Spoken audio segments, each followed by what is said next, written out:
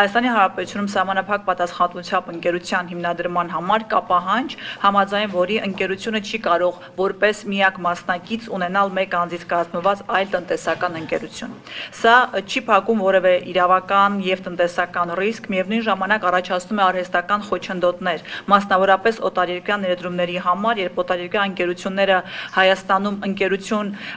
գրանցելու համար ստիպված են լինում ներգրավել երկրորդ սեփականատեր։ Արդյունքում Հայաստանում բիզնես սկսելու առաջին քայլին իսկ իրականում հանդիպելով արհեստական խոչընդոտների, որը վնասում է ներդրումային միջավայրին։ Պետք է ասել, որ ինձ տարբեր տնտեսվարողներ են այս մասին ասել, ես իրենցից եմ իմացել, որ իրենք ստիպված են լինում Հայաստանում գտնել որևէ մեկին, ով իրենց հետ 1% 0.1%-ով կկարողանա աջակցել ՍՊ-ներ հիմնադրելու համար։ Ենթադրենք ես ունեմ ՍՊ, որը գործում է շրջանառության հարկի հարկում հարկվում է շրջանառության հարկով եւ ճիշտ ասած շեմին անցնելուց ես ստեղծում եմ նոր ՍՊ, հա, հիմնադրում եմ նորը,